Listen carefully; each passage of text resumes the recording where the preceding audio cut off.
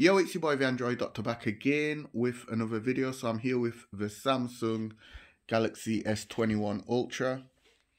Okay, so Samsung Electronics have pushed out an update that updates the USB Type-C port located right here. Okay, so the update contains the latest codecs so that when you connect your USB Type-C AKG headphones. You will then get a firmware update and then that firmware update will greatly improve the sound quality on your pair of headphones. Okay, so I'm going to show you how to update the USB Type-C port. So just go to the Galaxy store and then select this little tab up here and select updates.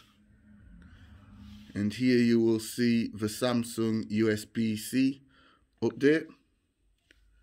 And if you scroll down you will see that the update became available yesterday the 5th of April and the size is 1.71 megabytes so just go ahead and select update. And then it will say installed.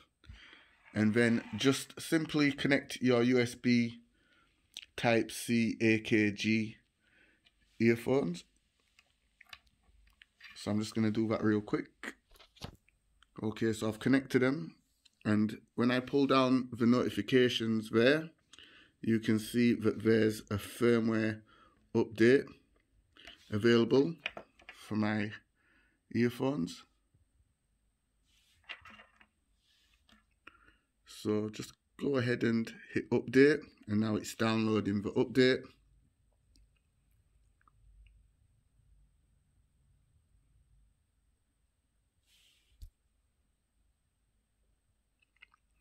And that's it guys that's how you update your USB Type-C port and the firmware for your AKG earphones on the Samsung Galaxy S21, S21 Plus and S21 Ultra.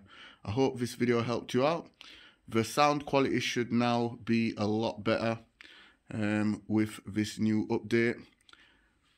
So guys, thanks for watching. It's your boy the Android Doctor and I'm out. See you in the next video. Please do like and share the video. If you're not subscribed to my channel, um, please do subscribe. Hit that notification bell so you get notified the second I upload a video. See you in the next one guys. I'm out. Deuces.